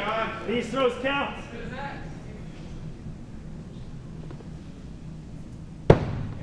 Great start from Morgan. Peppers the bullseye, but then Crawford matches within a second. Wow, what a start. Morgan showing signs of life, and Crawford wants nothing of it. Now throw two.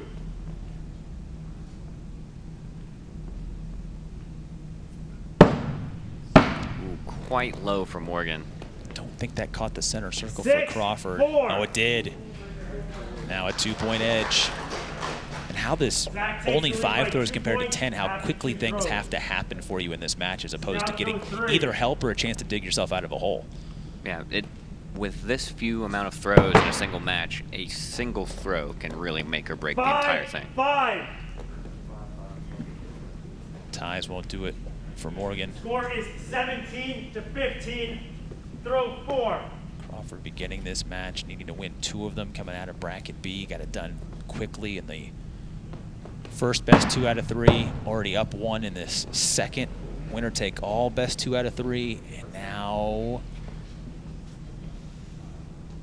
the lead Four. is Five. down to just one, going to the final toss. Final throw. Kill shots are live. Zach, you're up by one point. Zach Crawford is staying staying down. down. Jonathan.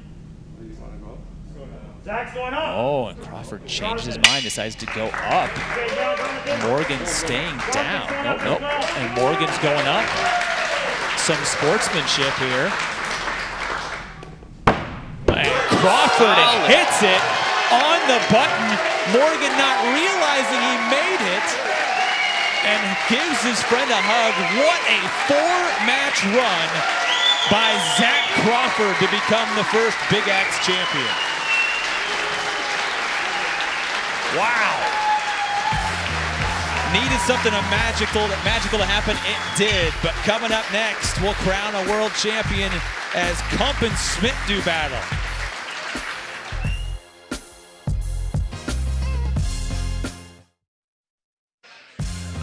The 2020 Signarama World Axe Throwing Championship is brought to you by Specialty Throwing Axes from the WATL. Buy yours today at WorldAxeThrowingLeague.com.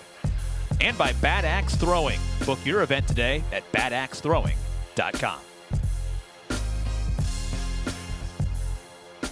It is time to crown a champion. Either Mike Kump or Ryan Smit is going to be the 2020 World Axe Throwing Champion with one warm-up toss in front of them. We will get things started. Actually, had one warm-up toss. Kump has advanced out of bracket A, the winner's bracket, which means Ryan Smit's going to have to win two best two out of threes if he is going to become the champion. But Evan Walters, the way that he played after his initial loss of the day, including two perfect scores on this tighter scoring system, I know it's a tall task that you're going to have to win Six, four six. matches against the reigning U.S. Open champion Mike Kump, but it almost feels like it, watching these two competitors throw over the last hour and a half that Smit is, dare I say, the favorite in this matchup, the way that he's thrown. Yeah, honestly, I mean, he just kind of came out of nowhere. He's uh, never been onto any of our larger tournaments, at least this far in any of them. But uh, Six, it's uh, he's shown an extre extremely impressive talent that now has a one-point lead over Mike Kump, who has become one of the faces of this sport. 30-year-old plays out of Chopper's Hatchet House. Won pretty much everything in the 2019 slate with the exception of this World Championship. This would be sort of the final major win of his illustrious Five, career. six. And now is tied up, again as Smit with the first miss of this one, and a decision coming here right now. Kill shots. on kill shots, and I think you're going to see both of these guys go kill shot every time unless the map dictates that you shouldn't.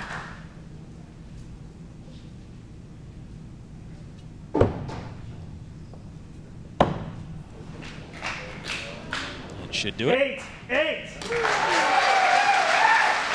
And gotten to know a lot of Ryan Smit over the course of this Good size for afternoon. me. We're tied 31 As the runner-up at the 2020 Arnold Classic earlier this year, really the last major competition before everything went on hiatus.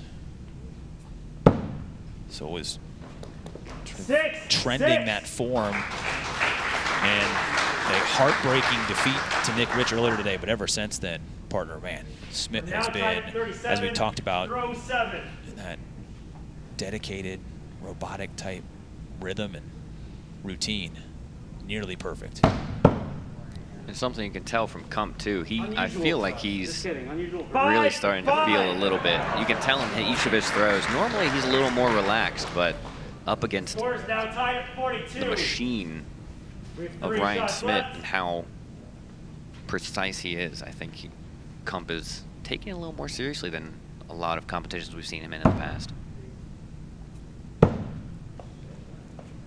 Six, you six. know, normally sort of dance around after a good swing or a target hit. Kind of looks over and watches Smit just pepper the middle of the board. Knows that he has to ratchet up the focus a little bit more as this one's coming down to perhaps that one final kill shot throw. And they will indeed be tied going into the 10th and final six. throw.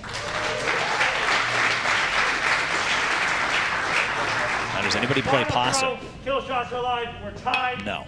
Both players have called kill shots. You can almost foresee a potential head game where someone says, no, I'm going to stay down. Yeah. Does it make the other person think? I may have just missed. Zero, eight. And it did from Kump. So an early win from Ryan Smit takes the first match in this, what he hopes is the like a prize? first best two of three. We're taking one practice. And again, competitors given a chance to practice once between the scoring reset.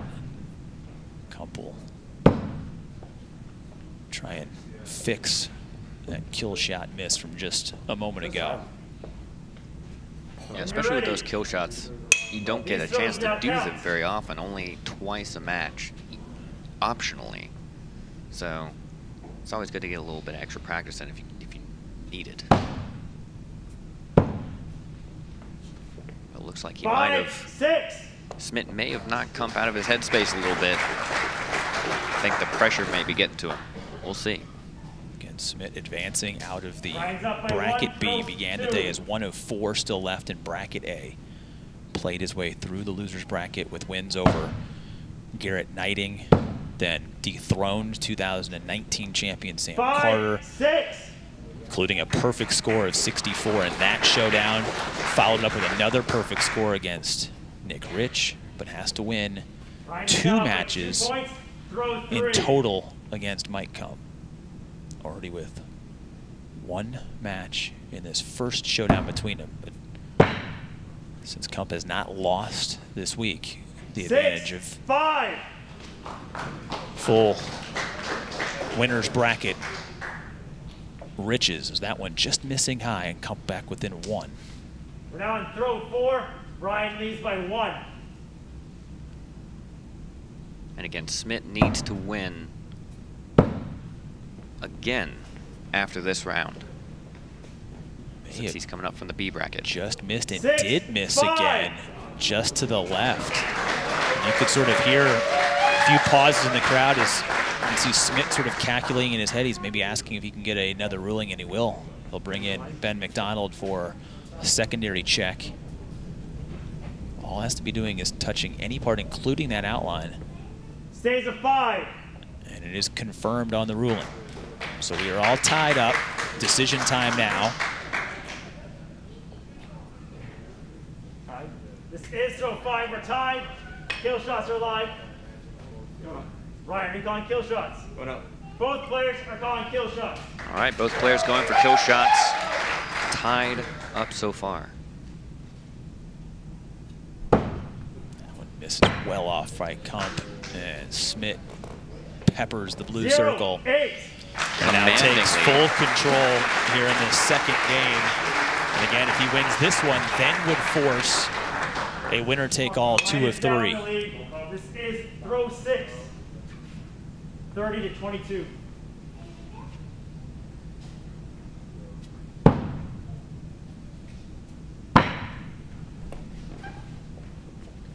It's going to be a fight to climb back up for Mike Kump. Six, six. Both of them marginally catching just a piece.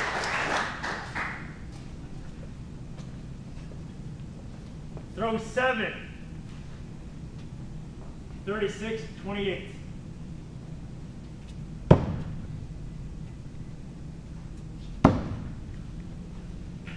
Walk me through the Six, six. mindset of Mike Kump right now. You've seen what Smit's been doing all day. You know that you're on your way to another best two of three. This one feels like it's already over. There are 30 What are you trying to gain out of these throws going into what's going to be a winner-take-all? Honestly, you can tell he's steeled his focus right now. Normally, in past events that we've seen on, on Five, six. Mike Kump will typically be a lot more playful, a lot more relaxed, a lot more in the mood, but I think just the serious nature Ryan of Smit and how he's competing, points. and not to mention the the uh, the talent in which he's been showing is definitely getting to come. So I think he's going to have to try to get back in that headspace of being a little bit more relaxed, Six, six. which it seems like he may be working on. Dancing a bit, Final throw. Kill shots Out of that. Ryan, you are in the lead. just Ryan trying to gain down. a little bit of an edge. Is going up. Smit will stay down, no doubt here with this one in the bag. Short of a drop here, just needs to board it, and he does. I think that That seals it. Kump, though, oh, it's pretty close. able to make it Six, Eight. And does, but enough for Ryan Smit that he wins the best two out of three. That means we will have another one to crown a champion. And again, the breakdown of the scoring evident why it has gotten a little bit tighter and why what Ryan Smit has found of late has become so impressive. That tiny one and a half inch bullseye circle, the smallest these competitors have ever seen until today. Absolutely. It's the exact same size as the kill shots, which are the eight points, but that six and that five ring outside of it is what they used to be accustomed to when it came to bullseyes. But moving on here forward through 2021, those smaller bullseyes are what everyone's going to have to adjust to. Is your champion. So the advantage for Kump out of the winner's bracket erased. Winner take all, best two out of three, $25,000 on the line. Nice partying gift for whoever finishes second, which we know has been determined. It's not winner take all. Second gets some. Six, six.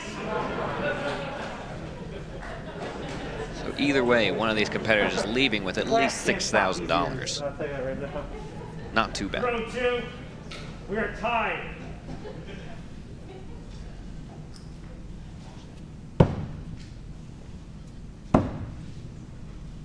And a perfect Six, start from both. Six, still tied.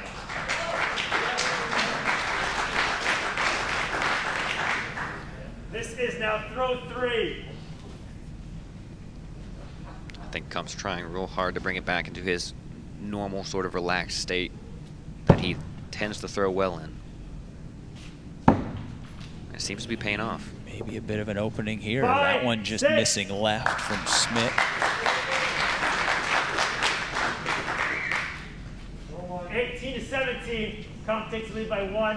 Well, tell me more, Ben. Throw four.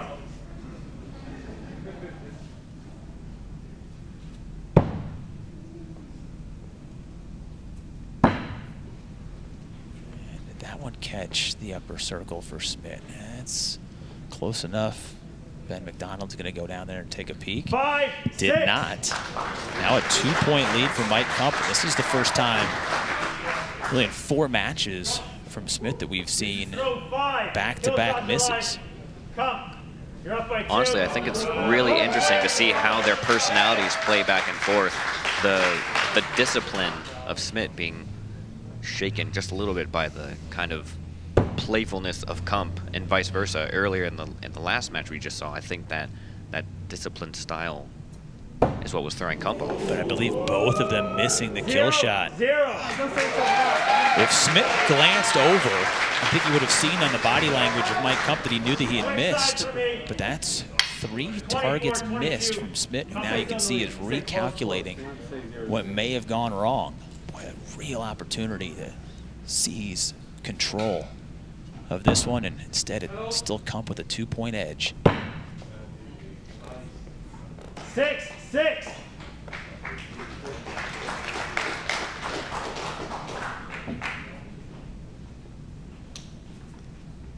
Throw seven.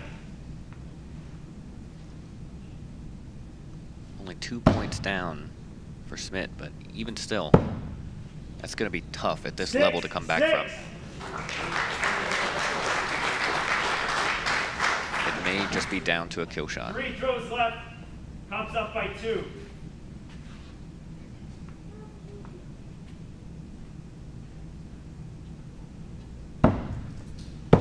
And Smit winning the first Six, best two out of three to force this final two out of three.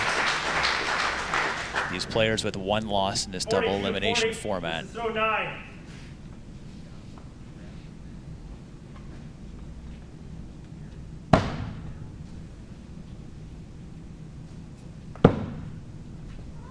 That one missing Five, low from six. Kump. Smit gets back within one, but now goes into this kill shot. Kill shots are live. Comes up by one. He's calling kill shots. Kump gave that kill shot circle an extra stare, knowing that this is a huge potential first win to take the early lead in this championship showdown. And he missed wide again. And it That one like connects from Smit. Zero, eight. Wow. You said it would come down to the kill shot, and after a couple of shaky misses in that one from Ryan Smit, he gets the best throw of the match and now is up one match in this best two of three, which means Mike Company's back-to-back wins.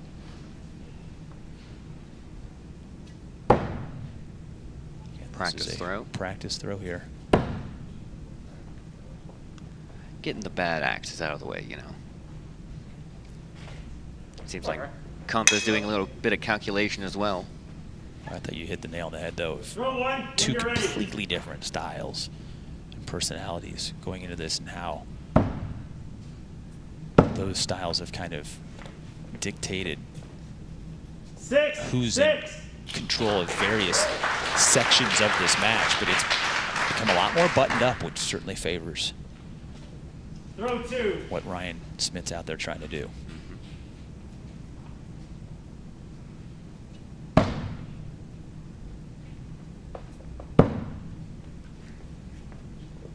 Six. Six. Flawless start. We're tied right now. What a Throw wild three. day it has been for Ryan Smit, who's one win away from being a world champion. Came out, won the first Six, opening five. match against Nick Rich, and had him down in the second one to put away that best two of three. Rich by one. kept peppering kill shots, played the aggressive style he had to. Stunned Smit, who then regathered in bracket B and has been absolutely six. clinical since. Down one here to Kump, heading to a first critical Now kill shot. Five, one point separating us. Kump, you are in the lead. Are you calling kill shots? Kump is going up. All All right, they both decide to go up for the kill shot. Kump has to make.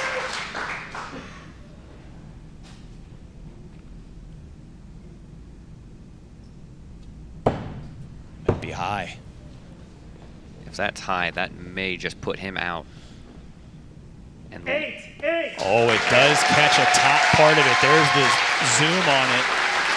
I don't know if Mike thought that he had made contact with it. His I- body language did not show like someone who thought he'd made contact. Throw But got it just on the top half of that lead by blue one. circle. Maintains a one point lead. no longer a one point lead, it would seem. Six. Five. We are all tied up.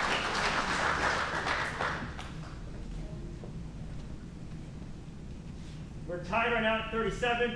Throw seven.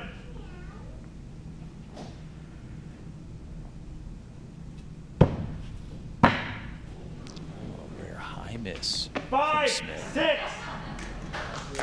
See reacting to just the surprise from the crowd. 43. 42. Throw eight.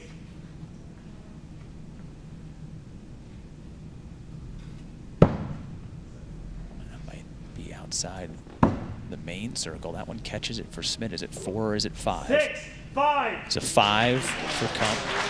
Back tied again. Two throws to go. The tension here from the crowd is just intense as these two throwers go one point back and forth, back and forth. Kump peppers the middle. Double check. That should be in the bottom half of the bullseye circle. It is. So we will have a kill shot shoot off here.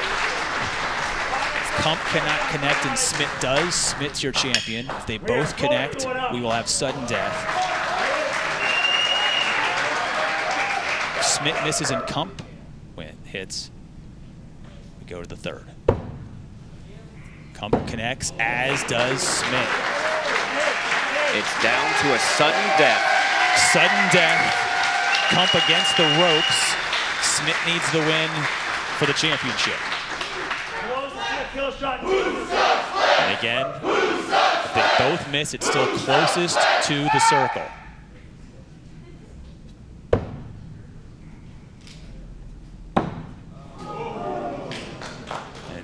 And S- takes this game. Kump makes, Smit misses. Kump is still in it. Wow. Went to sudden death and a kill shot that had avoided him for a couple of throws. practice like it.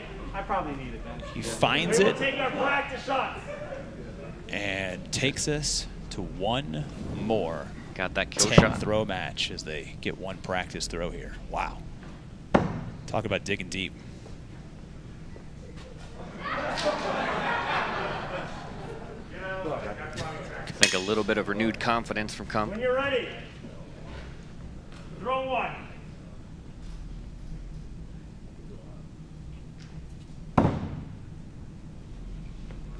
Six, six. Starting off strong with a pair of bullseyes. Ebbs and flows of momentum in this match two. have been just fascinating to watch.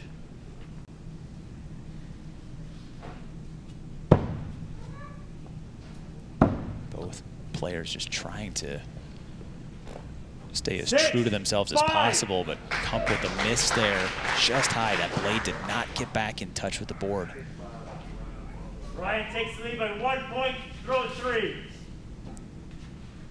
We've Played so much how the math can play into this. Really, any lead, even one point, with as accurate as these throwers are, become absolutely Six, massive. Five.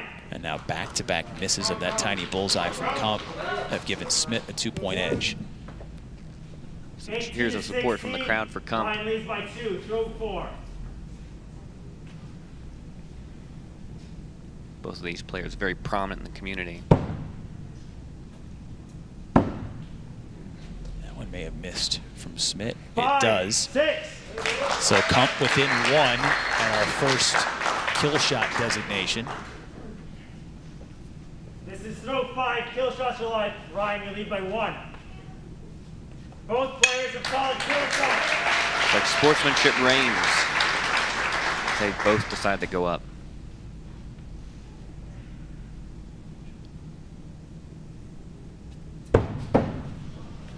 Smit hits, Eight, zero. and Kump does not. That may be the shot heard around the world. Yeah, that's a de facto championship blow. Throw six. Smit can just play the center the rest of the way. And Kump's going to need, you know, likely a, a drop six. axe toss from Smit. You can hear the crowd just kind of trying to breathe energy back into something that just doesn't feel like it has. 37, 28. What it had a moment ago. I mean, an unfathomable would have to happen here.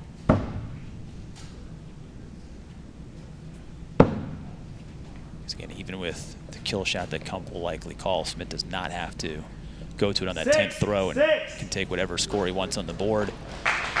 Three throws away We have three from Ryan Smit right likely being your new world lead. champion.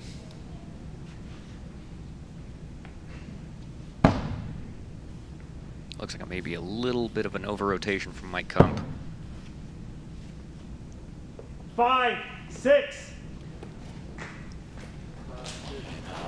The lead grows to 10. Even with Two a drop left. from Smit in these last two throws. Has room to work with. You would expect nothing Six, less from him than a perfect throw down the middle.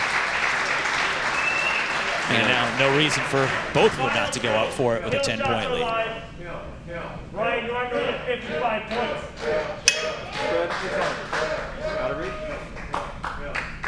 Both players are coming.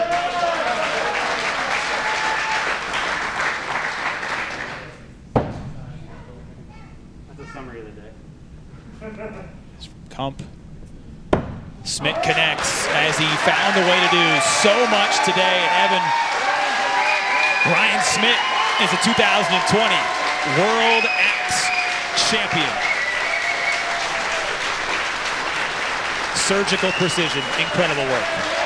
It's been a long year for everybody, but it's great that he's finally been able to make it this far.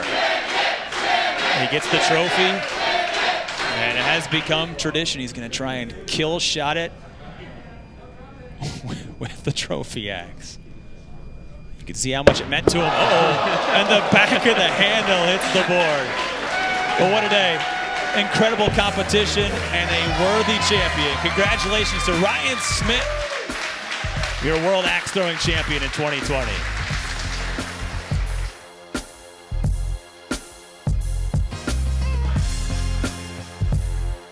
Now, the fourth world champion in axe throwing is Ryan Smit, and collecting $25,000 right now from AJ Titus, president of Signarama. What an incredible come from behind it was today, losing the first match out and then playing his way back through bracket B.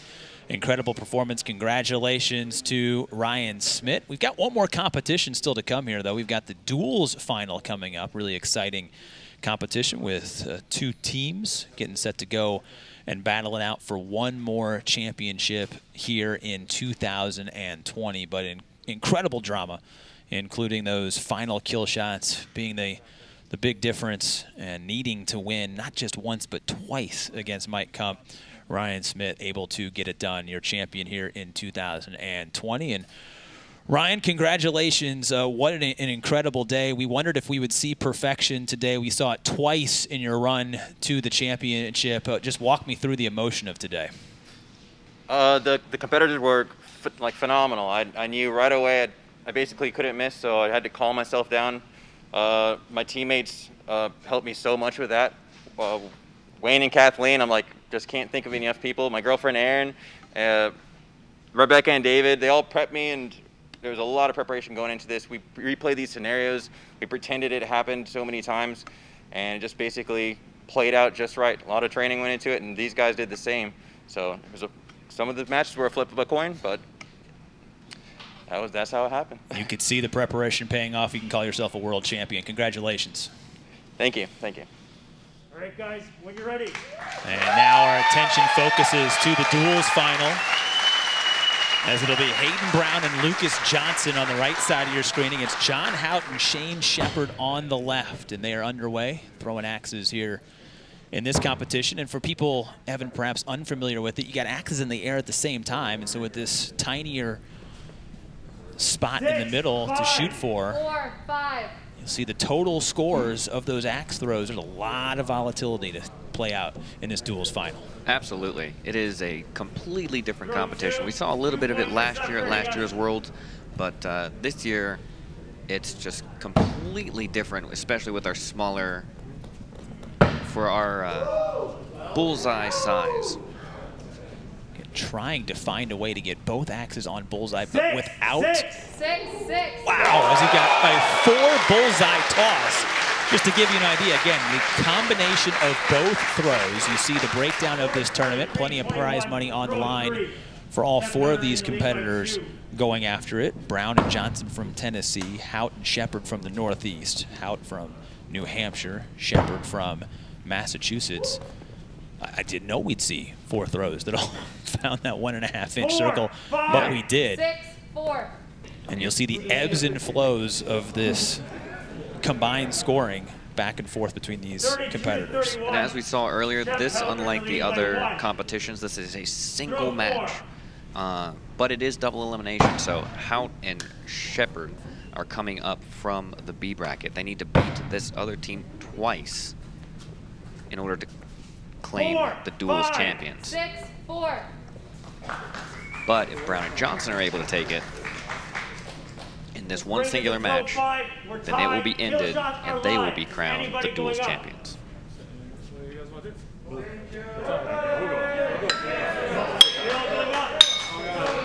Shepard now didn't want to go up, but they got baited into it by Brown and Johnson in a tie score, fifth throw. Both seeming to lean a little left on those kill shot throws, but looks as if Johnson connected did Brown do the same? Zero, zero. Eight, zero. But an eight-point swing could have been bigger. Switch sides. Teams will switch sides, as Evan mentioned. Hayden Brown and Lucas Johnson with the lead. Just need the one win to close out the championship. Hout and Shepard need to win too as those axes collide on contact as one of the harder parts of this particular version of the sport is you have to throw in unison and you have to have good enough aim not to collide against and knock off four, your four, five, five. your teammate's axe. We've seen it many, hat, many, many times. Throw seven. Team Brown Johnson is in the lead by six.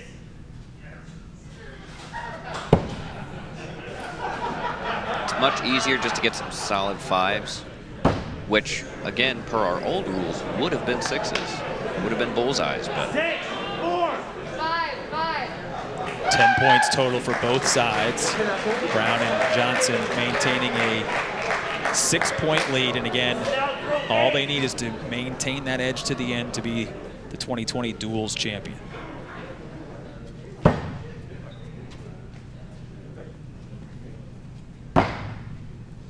looks like they're playing it a bit safe, keeping their axes far enough away that they are going to guarantee four. Four, four. they don't collide. And on the other side for Hout and Shepard, you know it's going to come down to probably a kill shot execution here in one more pass.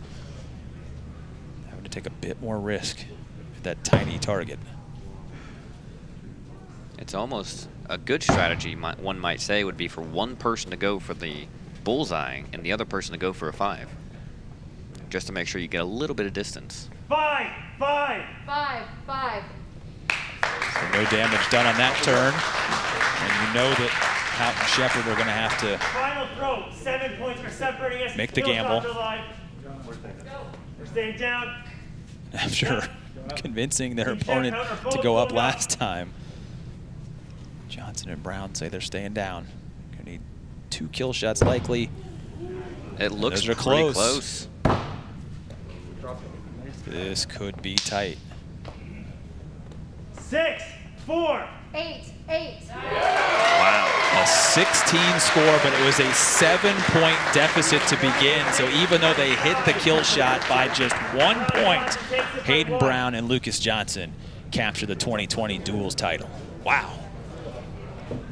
Well, the new scoring, we wondered how it would play out. There's a perfect example of how close and how volatile it can be. But the final champions of the day, good friends Hayden Brown and Lucas Johnson get it done.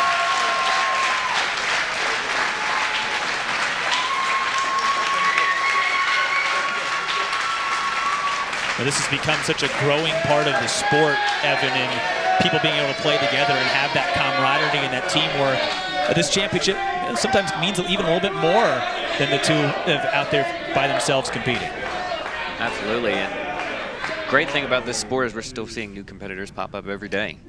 Many, many of these throwers are here for the very first time for their very first large tournament. And able to throw their trophies as part of the celebration here. Well, what a year it's been, Evan, to get to this point, to be able to have these competitions and the joy on the faces. We get a new world champion. We get a new discipline for the first time in Big Axe. I know the entire community, not just thrilled to be here, but thrilled to finally have this championship and great momentum going into 2021. Absolutely. All we have left. Every champion taking a turn with their champion axe, but everybody's just happy to be able to have something again. As the celebration continues here in Big Axe, Atlanta, what does this now do for the future of the sport? the future of the sport keeps growing and growing and getting bigger and bigger. There's never been a stop. You know, little few setbacks here with the current year of 2020, but still moving forward strong as ever. And once things get back up to full speed, we are going to be ready to hit the ground running with more and more axe throwing. It's your opportunity to find an axe throwing location. You never know. You could be holding a championship trophy in the very near future. Thanks to our entire crew and for Evan Walters, I'm Will Haskett saying so long from Atlanta. Incredible athleticism on display here today, and new champions crowned at the 2020 World Axe Throwing Championship.